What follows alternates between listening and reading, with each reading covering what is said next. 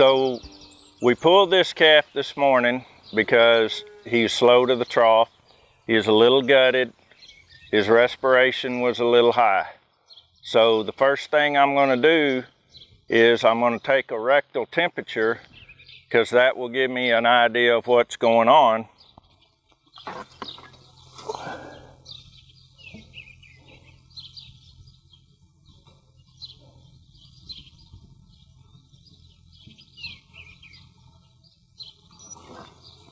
So his rectal temperature is 104.6. So I'm going to give him CattlActive to help with the acidosis.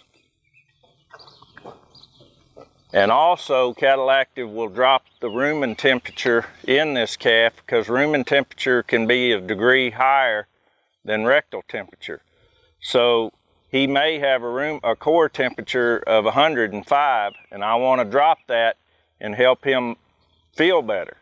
So the next thing I'm going to do is with the temperature that high, I'm going to give him a shot of antibiotic that I already had pulled up. I'm going to give him 10 on this side.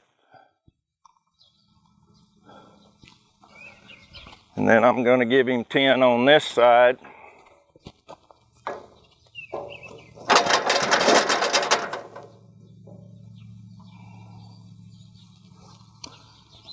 And then the last thing I'm going to do is I'm going to go ahead and give him some amprolium or Corid because I know that coccidiosis is a major problem we have here.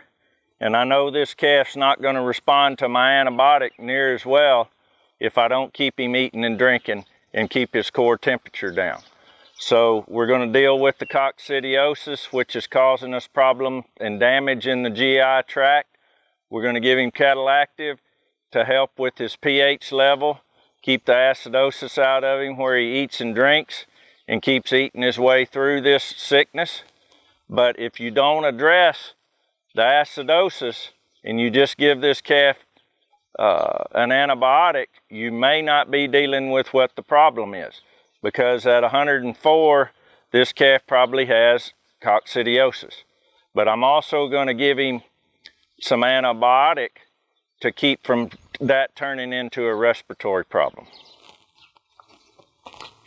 After that, I'm just going to let him out, put him by himself or with some other calves where he doesn't have to fight for feed and he can recover very quickly.